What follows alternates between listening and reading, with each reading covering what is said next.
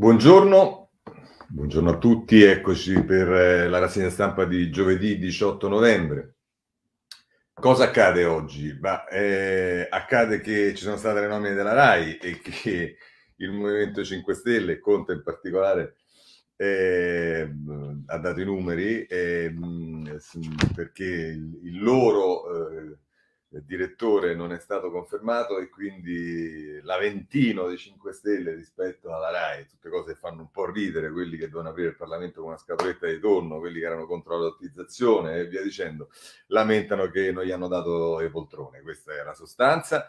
Ma la, l'altro tema che è sui giornali è la rottura della, eh, diciamo de, del numero dei contagi, abbiamo superato i 10.000 e quindi molti eh, diciamo, rimettono in discussione anche la tranquillità, la serenità, tra virgolette, dell'Italia, anche se rimane in una condizione ancora assolutamente diversa da altri paesi europei. C'è tutto il dibattito in funzione anche del Natale, di come vivremo il Natale, dicendo di intervenire, sono soprattutto i presidenti delle regioni, soprattutto quelli di destra, che chiedono di intervenire con misure che si differenzino tra uh, chi è vaccinato e chi no, tema che sembra Draghi al momento non voler prendere in discussione. E poi ci sta ancora qualcosa sulla manovra, il Quirinale. Eh, insomma, queste sono le notizie che eh, diciamo sono le stesse dei giorni scorsi con l'aggiunta della RAI che sicuramente oggi fa la parte del leone. Però io comincerei come al solito dalla questione Covid e andiamo su Corriere della Sera per vedere qual è la situazione. Superata la soglia dei 10.000 contagi, stretta sul Green Pass, mossa delle regioni. E qui eh, è l'articolo di Fabio Savelli e c'è il primo presidente, il neoeletto presidente della Calabria, eh, che interviene sul tema delle misure, più restrizioni ai non immunizzati, tutti i bimbi inclusi. Eh, pagina 3, eh, la, Adriana Logroscino ci parla della, delle strategie, negli ospedali si moltiplicano i posti, ecco come si evitano altre chiusure, in Veneto e Valle d'Aostra capienza raddoppiata nelle terapie intensive da Bolzano a Lazio, così aumentano i letti e cala la percentuale di rischio. Insomma, eh, questo è quello che ci dice il, mh, mm, eh, il Corriere della Sera a proposito delle eh, dei contagi. Abbiamo visto chiuso e allora a questo punto ehm, intanto capi- capiamo quali sono proprio dal Corriere della Sera le, ehm, le possibili misure che si prendono e cosa vanno a toccare. Insomma, la lotta al virus, pagine 8 e 9 del Corriere della Sera. Per quanto riguarda i viaggi, ingressi in Italia, passo tampone i corridoi eh, per le Maldive. Per quanto riguarda le feste cenoni, in zona gialla al ristorante solo in quattro per ogni tavolo. E poi per quanto riguarda lo shopping, i negozi restano sempre aperti, la mascherina è obbligatoria. Sullo sci, che il tema del turismo, soprattutto in montagna, è, insomma, è un problema serio, le cabinovie piene all'80% e in zona arancio si ferma tutto. E poi ancora i mercatini, se nella regione crescono i malati, sono possibili misure restrittive. Insomma, per accedere agli impianti in quota è necessaria la certificazione verde, non è prevista alcuna limitazione per le bancarelle in strada. Eh, questo è il, diciamo, quello che si sta approntando. Ma dicevamo il tema delle misure Novax e soprattutto delle eh, prese di posizione dei governatori. Abbiamo visto Occhiuto, c'è anche però Zaia, se andiamo a pagina eh, 5, scusate, del Corriere della Sera, imporre lockdown ai non vaccinati sarebbe un errore per il virus. Ho pianto un'intervista a tutta pagina che Corriere della Sera fa a Zaia, che è quello che invece vedete rispetto agli altri governatori di destra ha una posizione diversa. Se invece però andiamo sulla stampa troviamo Fontana, eh, pagina 4, un altro lockdown sarebbe un disastro, le limitazioni valgano solo per i Novax e vedete qui invece a differenza di Zaia Fontana eh, va diritto va su, sul, sul, tema. Eh, poi abbiamo ancora da segnalare ehm, eh, Toti, che è sull'avvenire in questo caso e che a pagina 7 dell'avvenire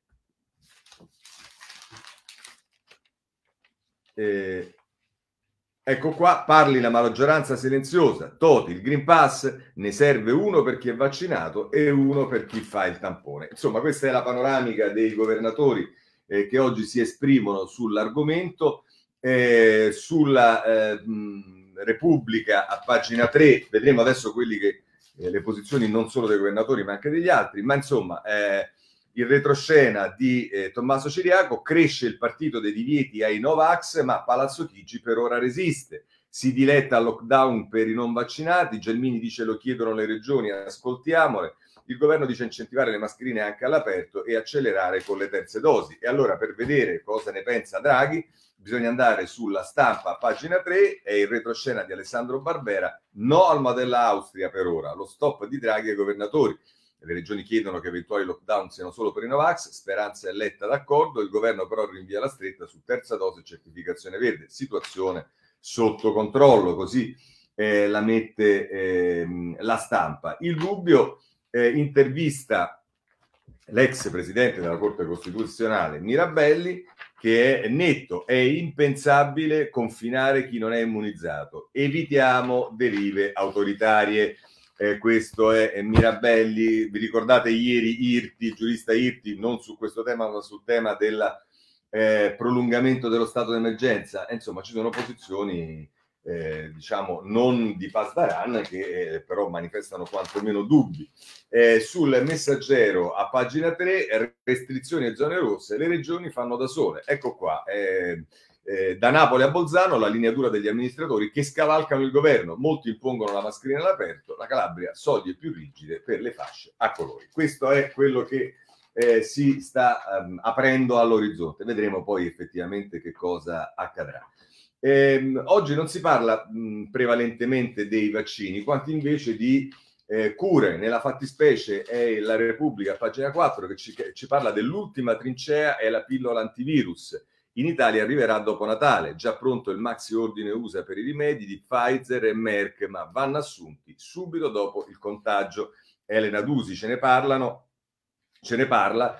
Evidentemente non parliamo di un vaccino che è preventivo, ma di una cura per chi si è preso eh, il, il, Covid, che è una cosa diversa, ma che è pure una cosa importante. L'intervista che Michele Bocci fa alle, al, al, consulente, l'esperto e consulente del mh, mm, commissario figliuolo Rasi, che dice: Ma i vaccini restano le fondamenta della nostra battaglia, cioè ci saranno pure le cure, ma le cure per chi si è preso il Covid sarebbe molto meglio non prenderselo e per non prenderselo l'unica via possibile è quella del vaccino, oltre che di tutte le misure, la mascherina, il distanziamento, le mani e compagnia bella, ma insomma.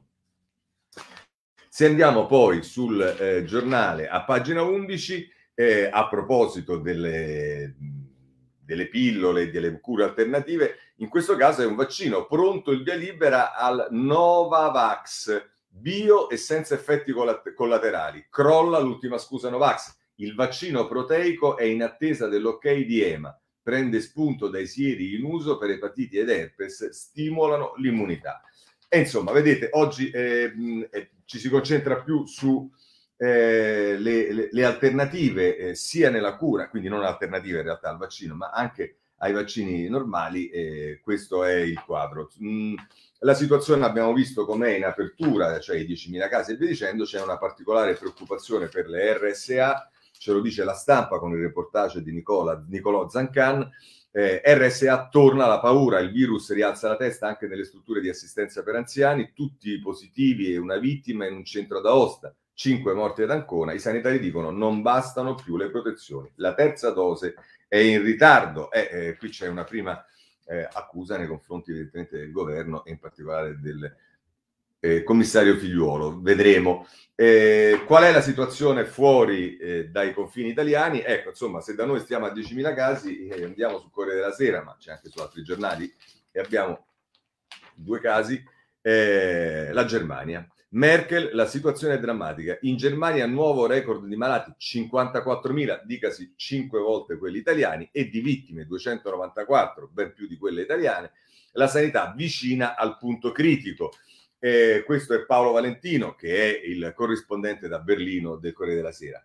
E poi c'è Irene Soave che si occupa invece, essendo inviata a Vienna dell'Austria, Vienna fila al Duomo per vaccinarsi e non rinunciare a caffè e cotolette. Insomma, situazione complicata. Abbiamo visto poi i paesi Balcani che sono anch'essi in una situazione molto difficile. Eh, questo è il quadro. Chiudiamo il capitolo Covid e apriamo quello invece delle misure economiche. Non solo, comincerei innanzitutto con il eh, recovery plan perché il messaggero a pagina 7 rifiuti dote da 2 miliardi al centro Italia le briciole via e beh, chiaramente essendo messaggero un giornale del centro di Roma eh, mette in evidenza che eh, al centro vanno le briciole via bandi per realizzare nuovi impianti ma i criteri penalizzano le regioni centrali il 40% delle risorse destinate al sud, al nord ne vanno altrettante, restano solo 400 milioni. Questa è la denuncia che fa il messaggero.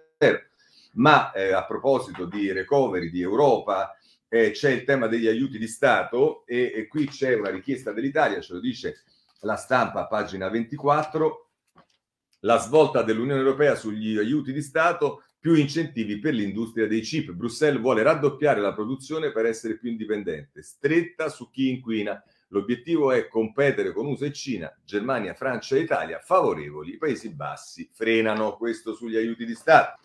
E allora veniamo però adesso all'Italia con eh, la manovra, eh, eh, però rimanendo a Bruxelles perché la Repubblica ci dà eh, una, quindi rimanendo in Europa, ci dà una notizia, pagina 8, che la manovra, Bruxelles dà via libera alla manovra, in arrivo altri 20 miliardi del recovery. Il progetto di legge di bilancio, scrive Claudio Tito, che è il corrispondente Bruxelles della Repubblica, il progetto di legge di bilancio inviato dal governo all'Unione Europea è stato approvato. L'annuncio ufficiale è il 25 novembre, promozione per gli impegni presi dall'esecutivo per il PNRR, ora si potrà accedere alla seconda tranche di fondi. Eh, questo eh, ci dice la Repubblica, quindi il via libera di eh, Bruxelles. La Repubblica ci segnala anche nelle pagine dedicate all'economia, in particolare a pagina 22, eh, tetto al contante a 1000 euro dal 2022 riparte la sfida al nero. È Raffaele Ricciardi che dice in vigore da gennaio cambia la lotteria degli scontrini, duello sul cashback. Insomma, è la lotta all'evasione ancora e d'altra parte sempiterna, potremmo dire, eh, italiana. Eh, nella manovra, e la notizia che danno tutti i giornali oggi è quella dell'assegno unico, perché parte l'assegno unico eh, lo prendiamo dalla stampa, ma c'è su, anche su altri giornali, poi c'è chi dice che non funziona e quello che volete, lo vedremo tra poco, ma insomma, assegno unico fino a 175 euro al mese, aiuti anche a chi ha i figli maggiorenni, oggi l'ok in Consiglio dei Ministri per le casse dello Stato, uno stanziamento di altri 6 miliardi, questo ci dice eh, eh, la stampa. Eh, il tempo,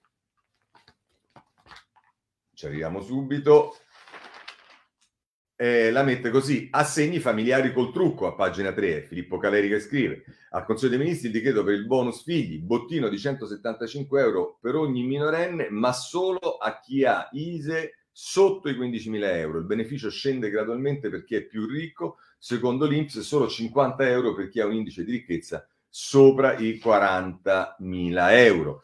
E poi a proposito di manovra, il tempo eh, ci parla con... Ehm, con un siglato Phil Calc, non so bene chi sia, ristori alle imprese in arrivo, il ministro Franco firma l'atto per assegnare 4,3 miliardi al fondo perduto previsti dal disegno di legge di maggio, dal decreto legge di maggio.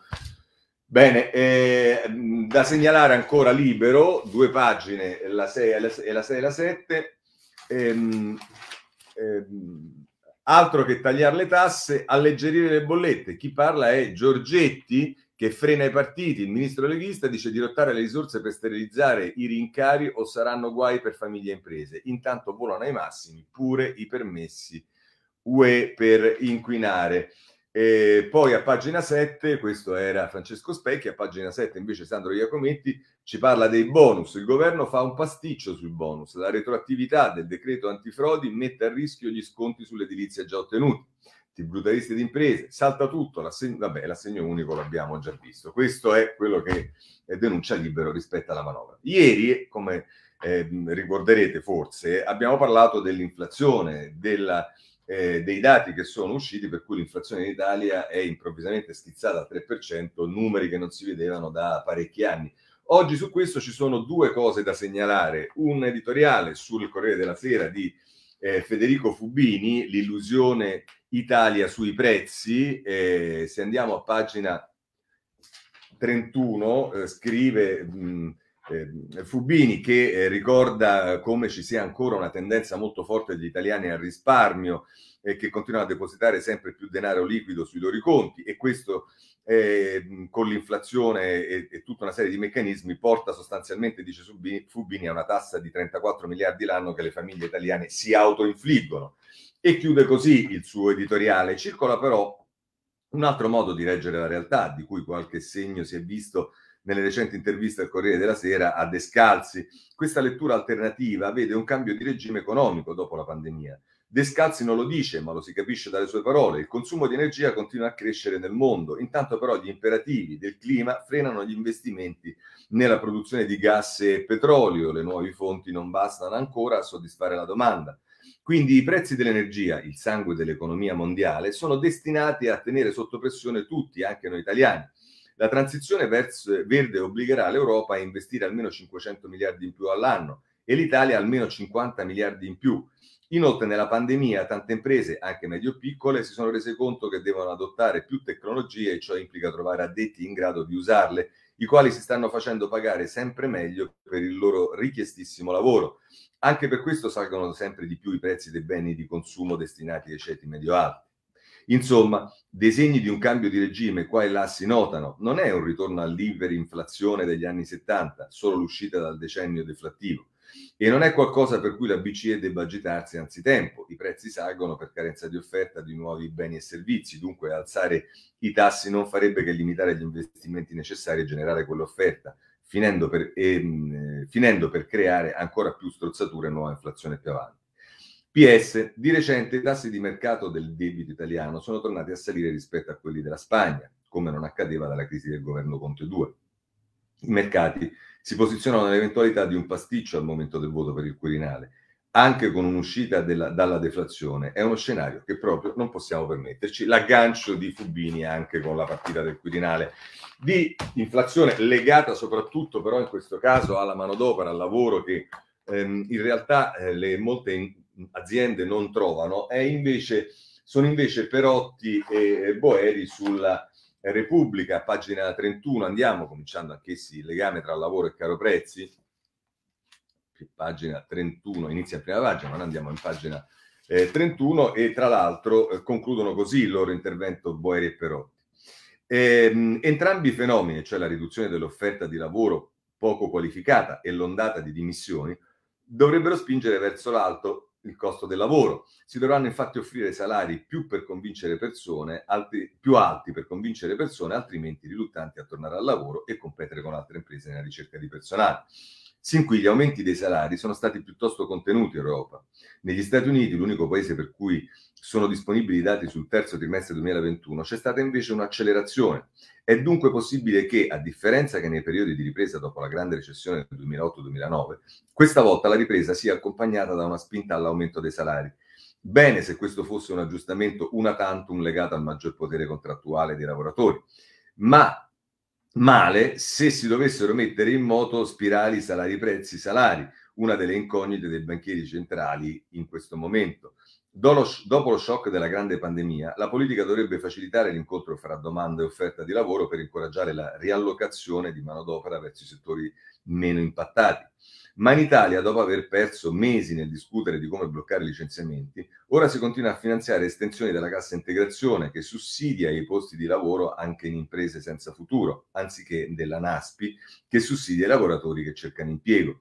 Inoltre si procede come lumache nella regolarizzazione degli immigrati che darebbe a molte imprese e famiglie i lavoratori regolari di cui avrebbero bisogno e non si interviene sulle regole del reddito di cittadinanza che scoraggiano la ricerca del lavoro. Su tutti questi fronti è necessario un cambio di passo, dicono Boeri e Perotti. Con questo possiamo chiudere il capitolo che riguarda la manovra. Eh, se eh, di, di, materie che sono in discussione, citate anche in conclusione da Boeri e Perotti, c'è il reddito di cittadinanza, su questo vi segnalo oggi eh, Salvatore Merlo, ehm, no scusatemi, eh, eh, sul foglio, ehm, eh, vi chiedo scusa, eh, a pagina 4 del, dell'inserto ovviamente, eh,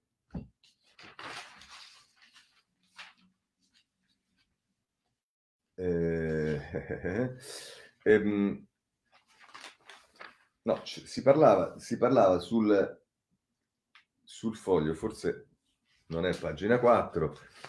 Ehm, e che vi devo dire?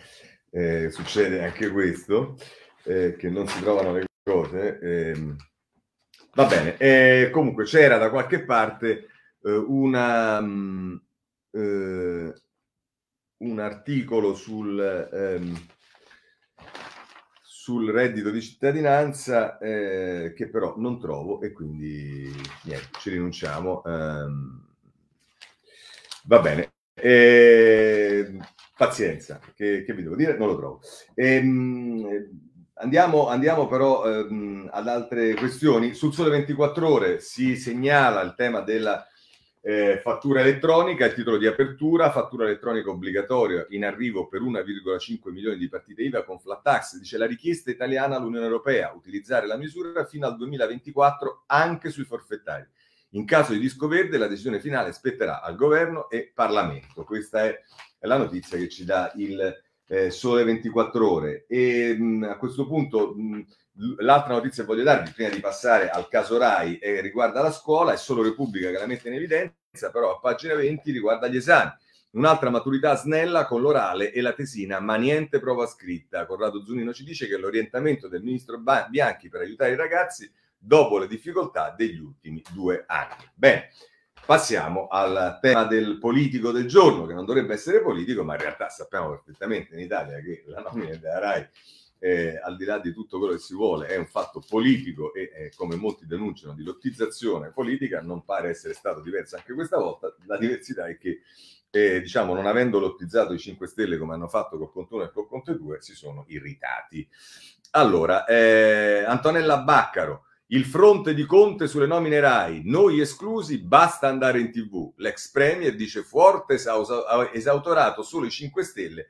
Che ruolo ha avuto il governo? Ora diciamo che questo lo chiede a Conte, che è stato presidente del Consiglio per due volte, dovrebbe sapere bene eh, cosa, eh, qual è il ruolo del governo. Soprattutto, diciamo, visto che Conte si è fatto per il compleanno di Bettini uno straordinario pranzo al quale eh, ha partecipato insieme a Fortes, forse poteva parlarci prima con Fortes e gli avrebbe magari detto prima che cosa sarebbe successo, ma insomma fa un po' ridere questa cosa dei 5 Stelle e diciamo la, la, mm, la, il, il, tweet che ha fatto ieri Matteo Renzi è riportato sul Corriere della Sera nei titoletti di pagina 10 la posizione del Movimento 5 Stelle sulla RAI dimostra che non c'è bisogno di piani segreti per distruggerli. Basta lasciar fare a Conte. È stato bello grazie di tutto.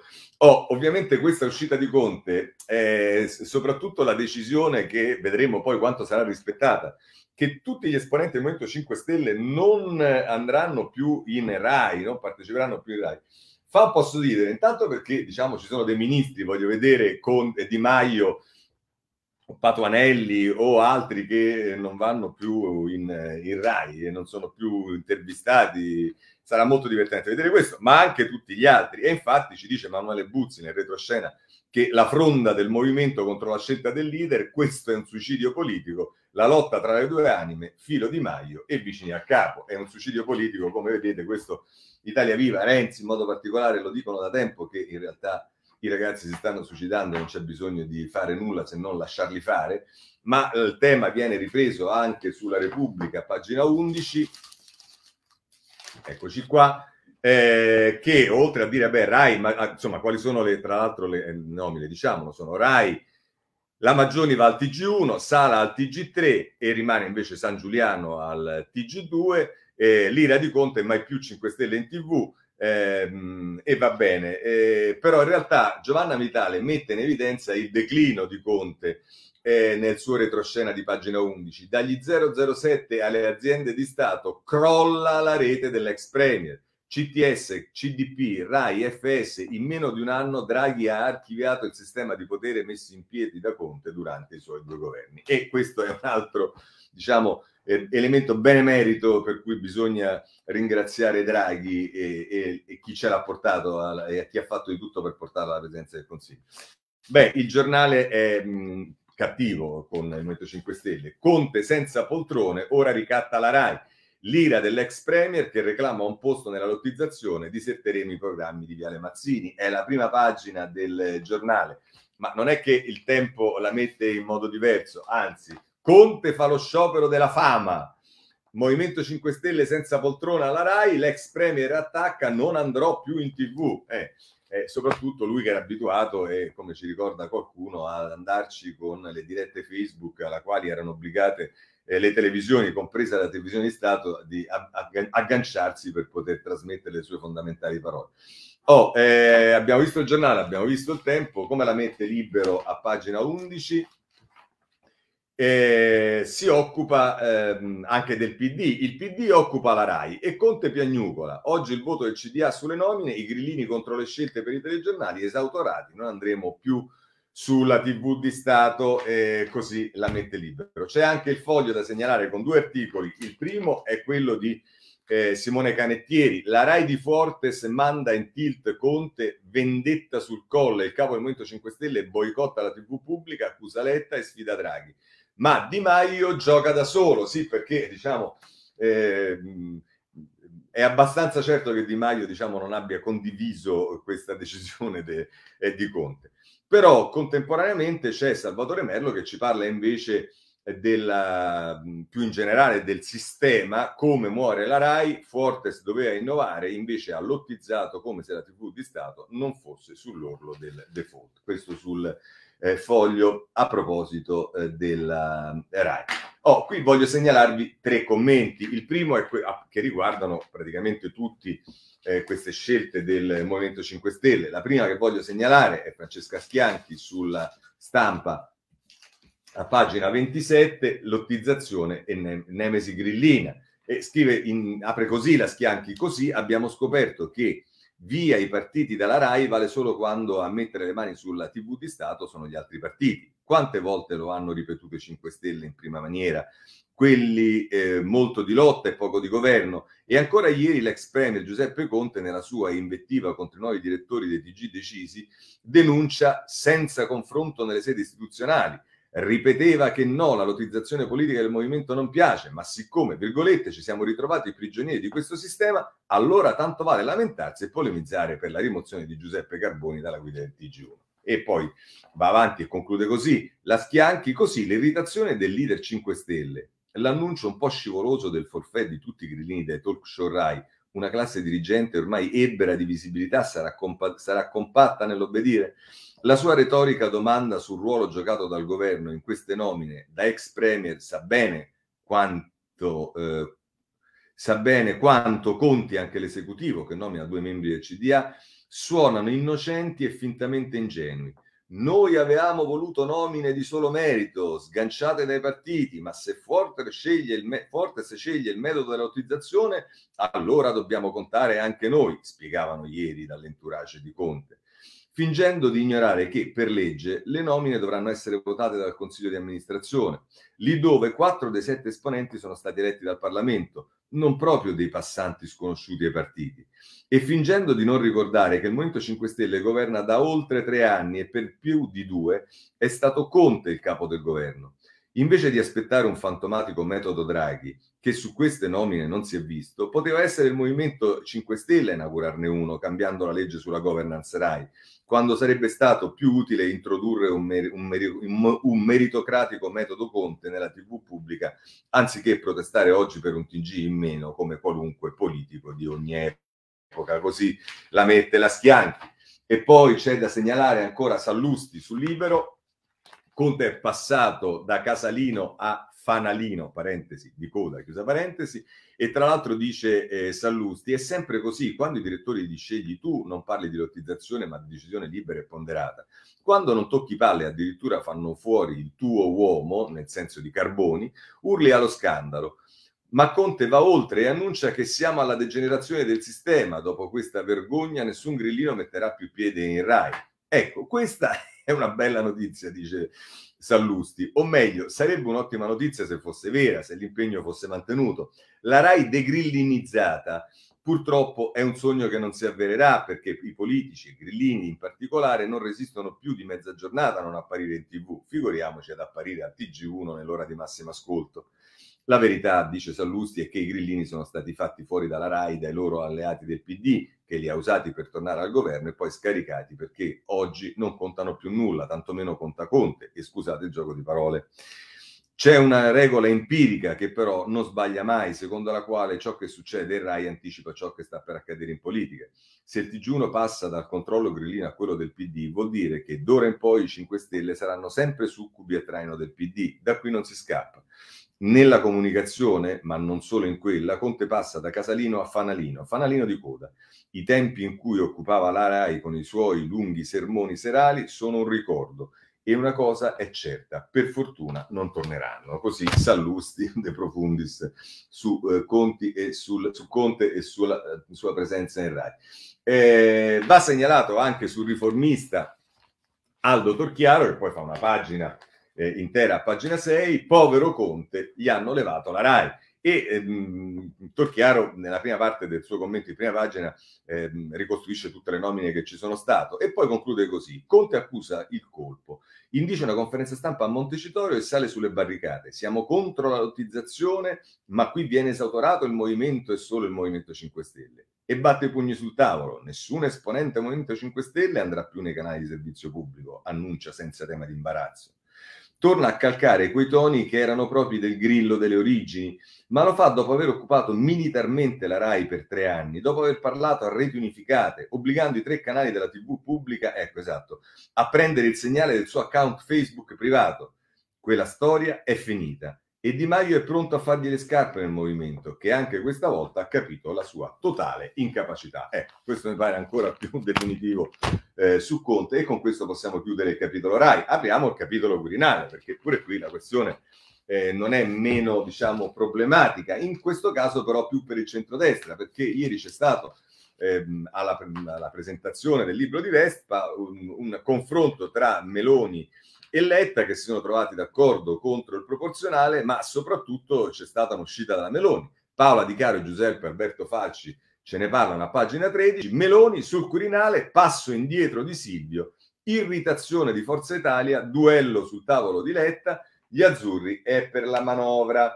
E allora, eh, Meloni si smarca da Berlusconi e questo farebbe venire definitivamente meno, poi lo vedremo, non ce ne sono molte, ce lo dice Folli, ma insomma, eh, ce lo dice Campi, scusate, le possibilità di Berlusconi. Ma insomma, ora, eh, che succede? Che eh, noi abbiamo visto ieri il Corriere della Sera che ha intervistato un, abbiamo chiamato, un vecchio della politica, cioè Ciriaco De Mita, e oggi eh, la Repubblica risponde con un altro vecchio della politica, con eh, Bodrato, che eh, a pagina 7 della Repubblica è intervistato da Concetto Vecchio e dice, ah no, forse anche ieri era De Mita, scusate, eh, oggi è Dobrato, eh, Bodrato, i partiti non sanno più come si elegge un presidente. La politica è scelta, va costruita una maggioranza, siamo già in grave ritardo rischiamo un'elezione di risulta, ha ragione Formica, serve un nome nuovo, sì, perché anche Formica si era pronunciato. E allora, siccome abbiamo sentito Bodrato, c'è un altro vecchio eh, della politica, in questo caso è eh, Martelli, e viene intervistato dalla stampa eh, a pagina 9, ehm, che eh, la mette così, rosa di nomi del PD e scelta al centrodestra. Per il Quirinale usiamo il metodo Pertini, L'ex ministro della giustizia dice una parte indica dei possibili candidati e l'altra parte sceglie all'interno di questa lista. E dice la candidatura di Draghi contiene una grossa incognita, che succede il giorno dopo? E ancora intervistato da Fabio Martini dice le prime votazioni richiedono una maggioranza larga e l'unico che potrebbe averla è Draghi. E poi dice ricordo una sola elezione avvenuta in modo ordinato quando fu votato Francesco Cossiga, questo ci dice eh, sulla stampa ehm, eh, sulla stampa eh, Martelli. Eh, vediamo ancora qualche cosa perché eh, ehm, la Repubblica con Tommaso Ciriaco unisce il tema della crescita dei contagi con la vicenda Quirinale, lo fa così. La quarta ondata rilancia il tandem Draghi-Mattarella. Nel governo e tra partiti si ragiona sull'opportunità di confermare l'attuale assetto per evitare l'instabilità politica con il ritorno dei contagi. E qui poi ognuno, sapete, questa roba ce la troveremo a voglia ancora quanto, perché ognuno ha la sua e cerca magari anche di, eh, come dire, farla valere. Eh, sappiamo per esempio che Folli è uno che si è sempre speso per questo tipo di, eh, soluzione. Il giornale, che è il più interessato perché l'operazione Meloni, insomma, eh, mette in crisi la candidatura presunta e voluta di Berlusconi e insomma risponde così eh, con Anna Maria Greco a pagina 2. La leader Fratelli d'Italia lancia un siluro sul colle. Silvio parla al PD? Questo significa un passo indietro, questo è quello che avrebbe detto la Meloni per indicare che non è più in campo eh, Berlusconi. Giorgia dice la, la coalizione è unita ma abbandona il cavaliere candidato. Sulla legge elettorale è invece d'accordo con i Dem, no al proporzionale. E allora Adalberto Signore a pagina 3 parla del D-Day di Meloni col doppio strappo e così si smarca anche da Salvini sui sovranisti dell'Unione Europea perché dice in Europa no al carrozzone di estrema destra, non sarò al vertice di Varsavia e qui invece la rottura appunto con Salvini sul tema del gruppo unico al Parlamento europeo. La Meloni eh, si smarca. Ehm, il domani a pagina 4 si occupa anch'esso della elezione del Presidente della Repubblica e in questo caso si dedica a Salvini. Stefano Fetri è il direttore, eh, c'eravamo tanto odiati all'occhiello, il Quirinale è il nuovo papete, la sfida tra Salvini e Giorgetti. Il ministro Patonelli, il Movimento 5 Stelle, rivela che nel 2019 il leader della Lega ha fatto saltare il governo Conte 1 per fermare la nomina del suo vice a commissario UE. Temeva di perdere il controllo del partito. Ora ha lo stesso dilemma. Questa è la lettura che dà il domani a proposito della eh, elezione del Presidente della Repubblica. C'è da segnalare anche il tempo, sul Presidente della Repubblica c'è parecchia roba. Il tempo a pagina 4. Eh, Giorgia boccia il Cavaliere al Colle, scrive eh, Pietro Di Leo. Vedete che i titoli sono praticamente univoci. Eh, libero invece diciamo torna sulla scoop che poi non si capisce pare che non sia uno scoop perché non pare che sia così eh, come descritto da Verderami ieri sul Corriere della Sera, ma insomma torna sul tema i deputati, la pensione e via dicendo. La casta litiga per avere la pensione, sul dopo Mattarella pesa la ridicola guerra tra Camera e Senato sulla data che fa scattare l'assegno ai parlamentari. L'ipotesi di voto anticipato scatena la fame di vitalizio. Antonio Rapisarda, ma quanto è bello scrivere queste cose che fanno vendere qualche copia, che è proprio populismo e demagogia allo stato puro. Ma vabbè, così funziona. Andiamo a vedere le cose più concrete. E allora, Stefano Folli sulla Repubblica. Che sta succedendo? Eh, Stefano Folli dice che altro che pensioni, cosa vi dicendo. Le carte si stanno incartando e il tema delle elezioni anticipate non è un tema ormai più così eh, impronunciabile. Tra l'altro Matteo Renzi, l'avevo sentito dire nei giorni scorsi, mi pare proprio dalla Gruber, aveva detto e anticipato che vedeva dei strani segnali. E cosa scrive Folli? Una legislatura quasi consumata. Dice: È chiaro a tutti che il governo di semi-unità nazionale regge grazie a Draghi in primo luogo e poi in virtù delle convenienze politiche di quelle forze che non hanno ancora deciso come muoversi. In fondo, Covid a parte, è l'aspettativa del Quirinale che tiene fermo il quadro. Dopo l'elezione del capo dello Stato, chiunque sarà, ci si potrebbe accorgere che la legislatura è ormai consumata come una candela. Saremo entrati infatti nell'anno preelettorale, la scadenza regolare del Parlamento è nella primavera del 2023 e servirà una guida molto autorevole e determinata per dare una rotta al governo impedendo il gioco delle veti incrociate. Lo stesso utilizzo dei miliardi dell'Unione, se non equilibrata attraverso una mano forte, può diventare un'arma elettorale di una parte contro l'altra. In sostanza, scrive Folli, è vero che l'attuale anomala coalizione potrebbe non sopravvivere al passaggio di gennaio, specie se l'elezione del Presidente delle, eh, a Camere riunite, anziché essere regolata da un accordo figlio del buonsenso, fosse delegata a una sorta di duello rusticano in cui nessuno dei contendenti si presenta più forte dell'altro. Peraltro, anche l'altro argomento usato per allontanare lo spauracchio del voto anticipato dà l'idea di quanto la legislatura nata nel 2018 abbia esaurito il suo slancio politico.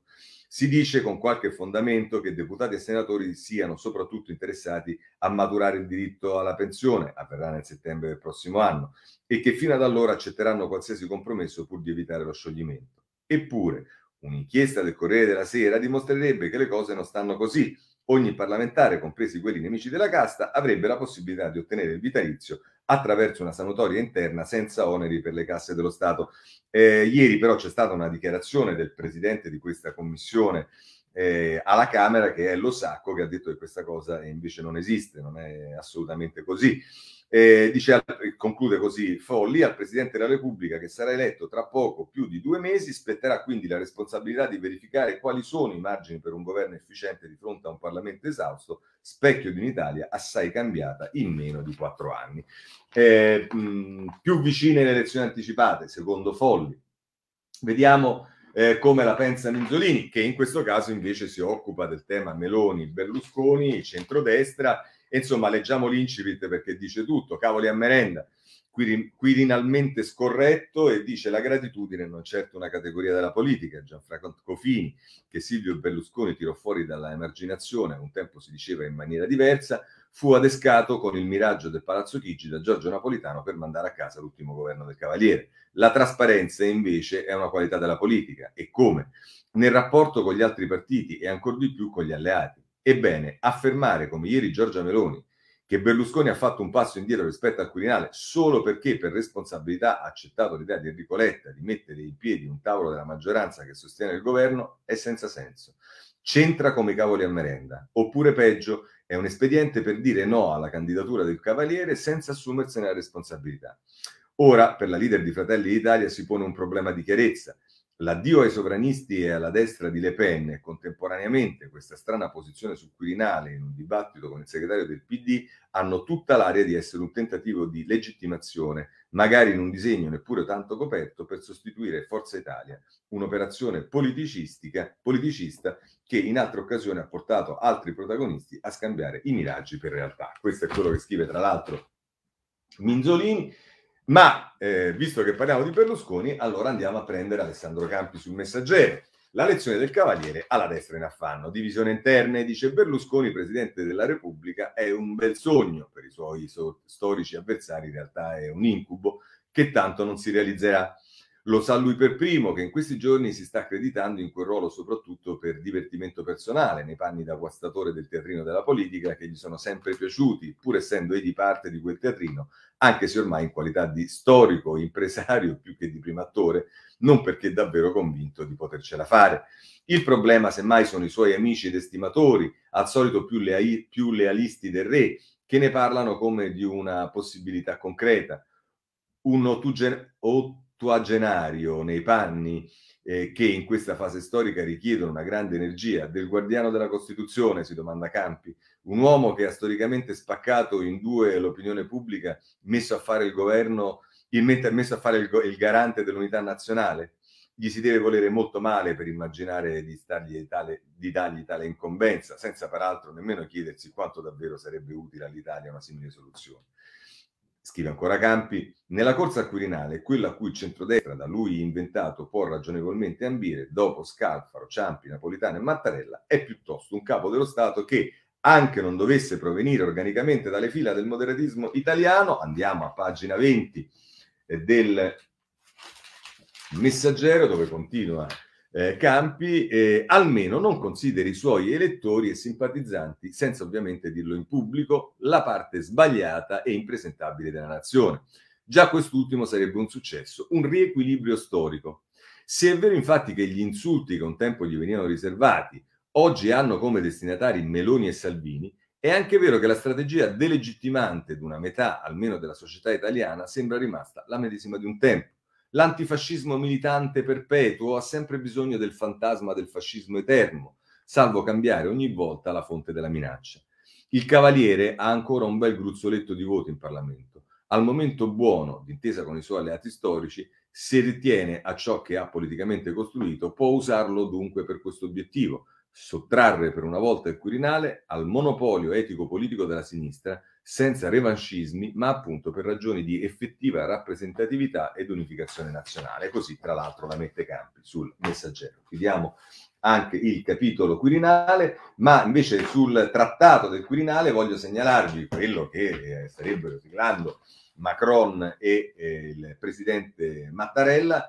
Eh, ne parla a pagina 8 il, ehm, l'avvenire eh, il trattato del Quirinale vicino alla firma, il 25 Macron a Roma per siglare con Draghi l'intesa per rafforzare le relazioni Italia-Francia. È il sottosegretario Amendola che parla e dice siamo alle battute finali, avanza la cosiddetta, cosiddetta alleanza Dracron.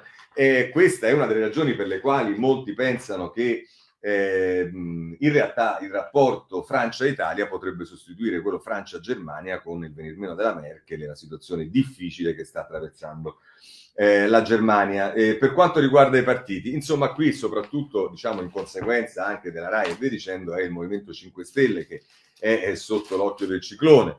Non riabilitiamo Berlusconi, l'alto là dei grillini duri e puri, la ministra Dadone dice Conte cerca solo l'appoggio di Forza Italia, il PD prematuro, il tavolo sulle riforme. Federico Capurzo che ci parla eh, di, di, Alessandro Di Battista che dice io a Berlusconi gli ho letto la sentenza dell'Utri sotto casa.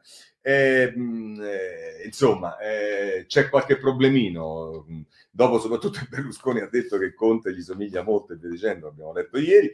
E diciamo Jacopo Jacoboni, che è uno che i 5 Stelle riconosce bene dalle origini, firma l'articolo siglato la storia sulla pagina 6 della stampa, veleni e corteggiamenti, le giravolte Movimento 5 Stelle su Silvio Psiconano, il dialogo col Cavaliere per evitare di essere esclusi su Costituzione e Quirinale. Ma ci arriveremo perché c'è Malagutti che firma un editoriale su questo. Eh, prima però voglio segnalarvi il riformista con eh, Massimo Salvatori a pagina 2 che parla della possibile entrata dei 5 Stelle eh, nel Partito Socialista, Euro, nel gruppo socialista al Parlamento Europeo e non è molto da, d'accordo. Eh, I socialisti sono democratici, cari 5 Stelle, a voi serve un miracolo. Il movimento nel Partito Socialista Europeo, sconcertante, dice, congressi periodici, tecniche democratiche nei rapporti con gli iscritti, una carta dei valori stabili, sono alla base dei partiti socialisti. La struttura dei 5 Stelle non è stabile né democratica. Così eh, Salvatori sul riformista. Ma allora, ehm, rapidamente vediamo Malagutti cosa dice a proposito di Conte e della sua decisione di aderire alla proposta di Letta, ma poi aderirvi eh, portandoci dentro anche la proposta di riforma costituzionale, che come tutti evidenziano e come mi sono permesso di evidenziare anche io, è una presa in giro anche semplicemente perché non ci sono proprio più i tempi materiali per fare una riforma costituzionale. Ma ehm, la mette così Malagutti, la Costituzione e i guai di Giuseppi. La singolare apertura di Conte che rilancia allargandolo il patto per le riforme evocato da Enrico Letta non può essere eh, liquidata come un'uscita estemporanea e merita piuttosto una serie di riflessioni che diventano domande. La prima, Conte crea o suppone di farlo, Di Maio distrugge, giudicando l'idea di un grande patto che tenga dentro Salvini e Renzi controproducente. Quelli sono inaffidabili, può essere, ma Di Maio si fida di Conte e Conte si fida di lui? E soprattutto chi comanda nel movimento? Beghe che restano sullo sfondo di temi più rilevanti. E qui arriva la seconda questione. Una politica aggrappata all'ormai mitizzato e mitologico carisma di Mario Draghi, incapace di, disting- incapace di distinguere le differenze tra l'attuale tra attuale e caduco, tra contemporaneo e defunto, piuttosto che lasciarsi travolgere dall'ossessione di una più rassicurante architettura istituzionale, dovrebbe preoccuparsi ora, immediatamente, di produrre una nuova legge elettorale. Chi spiega a elettori ed eventuali eleggibili che tengono in ostaggio le Camere per paura di perdere pensioni e prebende quale sarà il meccanismo di consenso popolare che porterà alla nascita di un Parlamento liofilizzato? Quello attuale è destinato a generare mostri, un maggioritario secco, un rigoroso proporzionale magari con un sano sbarramento al 5% per impedire a cespugli e cespuglietti di imporre il proprio nanismo nella maggioranza? La ridondanza di interrogativi rassicura, ma almeno un'altra domanda è necessaria. Essendo una irricevibile forzatura quella di chi immagina di incoronare Draghi al Quirinale inaugurando surrettiziamente una forma di semipresidenzialismo di fatto, perché mai un uomo come l'ex premier della BCE eh, dovrebbe rinunciare a confrontarsi con Macron, von der Leyen, Biden, Putin e Xi Jinping per fare il giudice arbitro delle nostre scaramucce di cortile, limitandosi a qualche tè delle 5 con Steinmeier, non sarebbe riduttivo per lui e per noi? Il Presidente del Consiglio in carica ha accettato di sedersi a Palazzo Chigi forte delle garanzie ricevute dal Presidente della Repubblica Sergio Mattarella. Perciò, a rigor di logica, o l'intero Parlamento convincerà l'attuale inquilino del Colle a rimanere al proprio posto, oppure difficilmente Draghi e la sua austerità quasi primitiva proseguiranno il lavoro accettando di sottoporsi al martellamento propagandistico elettorale destinato a esplodere a un anno dal voto. Scusate, se avesse ragione Nietzsche, bisogna avere il caos dentro per partorire una stella danzante, considerando il marasma del nostro quadro politico, saremo a cavallo. Purtroppo l'esperienza italiana ci insegna che il caos genera solo caos e che i liderini romanizzati sono di fronte a un'alternativa secca. Blindare Mattarella e dunque il suo Presidente del Consiglio almeno altri 12 mesi o chiudersi in una stanza per immaginare una legge elettorale che impedisca al piccolo miracolo italiano di quest'anno di finire nella fossa delle Marianne delle nostre illusioni, così Malaguti sulla stampa. Chiudiamo anche questo capitolo. Per quanto riguarda la Lega, vi devo dire, ma non perché, ma c'è ogni tanto il domani ha delle cose veramente singolari. La prima pagina del domani è dedicata a che all'assessore della Lega spara, arriva il, cab- il carabiniere leghista condannato. Insomma, eh, Nello Trocchia cosa vuole mettere in evidenza? Che quando c'è stato l'assessore leghista che ha ucciso eh, Younes El eh, Bussettawi, eh, vi ricordate l'immigrato che è stato colpito nella piazza dal, dall'assessore, bisogna capire se la colluttazione o non colluttazione dicendo, però mette in evidenza che e poco dopo lo sparo arrivano le auto dei carabinieri e della polizia, poi una macchina nera. La guida un militare che mostra confidenza con Adriatici, lo saluta e lo accompagna in caserma. Domani, che il giornale può rivelare di chi si tratta. È un carabiniere condannato e vicino alla Lega. Bah, e con questo, su questo uno ci fa il titolo di prima pagina del domani. Vabbè, ma eh, ognuno fa quello che crede, giustamente, peraltro. Eh, riforma della giustizia, eh, vi segnalo un'intervista a Cagliazza su Dubbio che mette in rilievo, cosa che già era stato fatto, quanto i decreti attuativi della riforma della giustizia possono essere un rischio serio di eh, riportare dentro quello che siamo riusciti a mettere fuori quando abbiamo approvato il decreto. E quindi, eh, intervistato da Valentina Stella, riforma penale, appello al rischio, evitiamo la beffa nei decreti attuativi. Con la nostra iniziativa abbiamo impedito che nel testo del, DL, del DDL delega il diritto ad impugnare fosse subordinato alla cosiddetta critica vincolata, ma la commissione Canzio ha ripreso a parlarne. Questa è la eh, preoccupazione del presidente delle Camere Penali, Gian Domenico Cagliazza, sul dubbio oggi a pagina 7. Si parla di Open e qui, amici miei, eh, siccome le 92.000 pagine sono ricche e poi c'è chi le ha lette con un po' di ritardo come domani e che oggi con Fittipaldi, che poteva essere da meno rispetto agli altri, fa due pagine sul fatto. Tra dark room, affari e politica, i segreti dei Rasputin di Renzi. Nelle carte dell'inchiesta sulla Fondazione Open, le chat inedite tra Marco Carrai e Alberto Bianchi, petali del Giglio Magico, invitano a dare lavoro allo studio della Boschi, sono tutti più furbi di noi, l'ufficio non ufficiale voluto da Carrai, i rapporti con Tony Podestà e le miniere di litio. Berlusconi, aiutiamolo con vivendi, business segreti sull'Italia. Ora, io non ho certo avuto il tempo di leggere, vedo i titoletti e vi dicendo, eh, sarò molto interessato a capire che cosa c'entra tutto questo con, il, eh, con la parte, diciamo, dell'inchiesta Open, che è quella che dovrebbe essere eh, diciamo, depositata perché sono cose che incidono sui, eh, sul, sul, processo. Ma eh, tant'è, però eh, voglio segnalarvi sul dubbio eh, Novi che parla invece a pagina 6 della questione autorizzazione all'utilizzo delle telefonate di Renzi nel conflitto di attribuzione su Open, chance di rivincita dei partiti sui PM.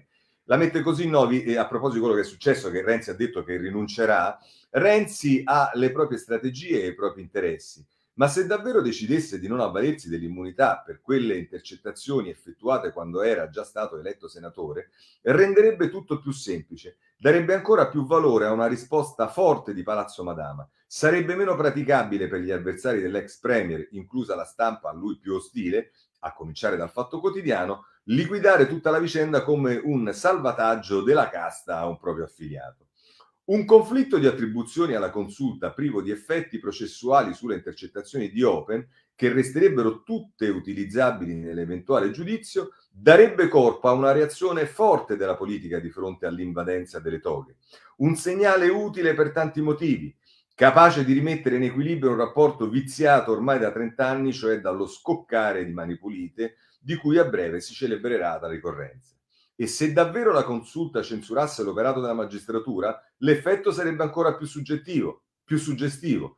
Dopodiché, forse sarebbe utile se i partiti riflettessero sulla radice del problema, il cedimento incondizionato all'anticasta e iniziassero a riconsiderare l'assurda abolizione dei finanziamenti si è capito che un masochismo del genere conduce solo alla fine del principio di rappresentanza e ora che neppure le toghe hanno la credibilità necessaria per presidiare il centro della scena, il danno è ancora più chiaro a tutti. Così Novi sul dubbio.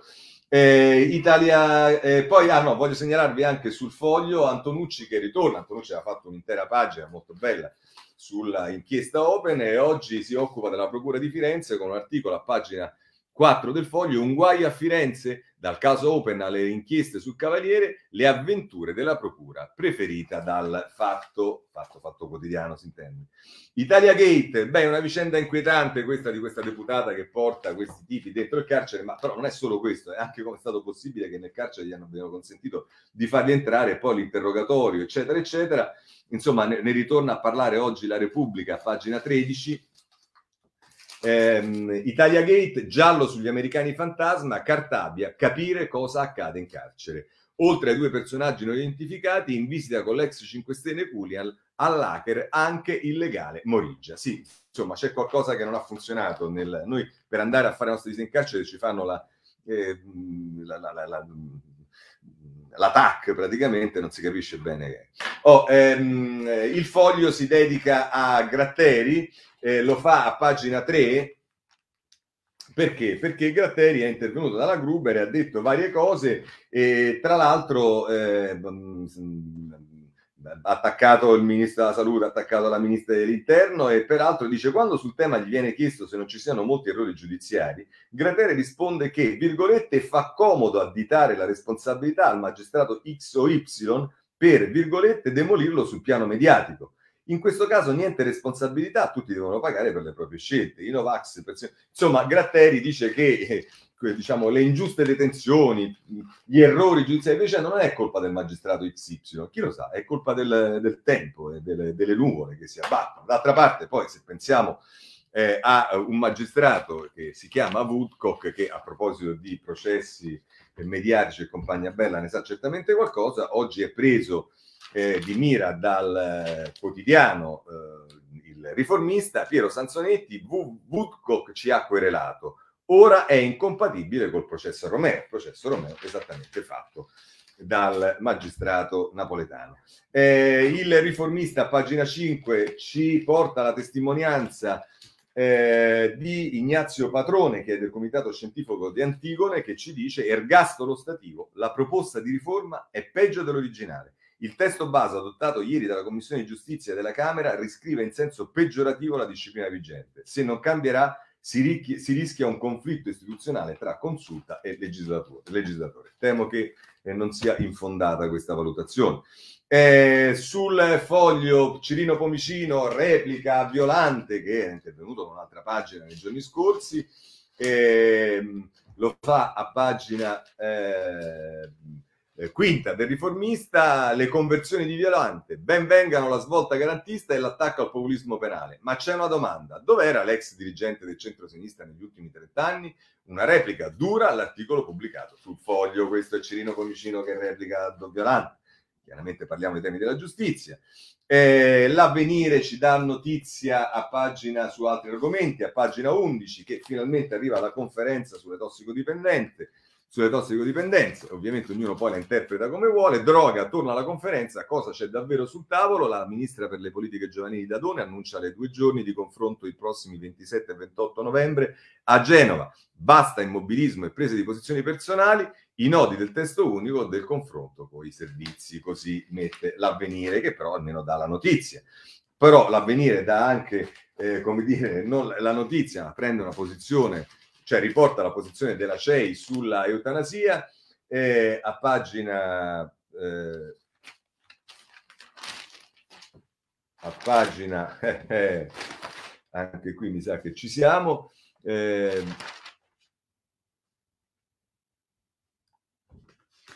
chissà che pagina, eh?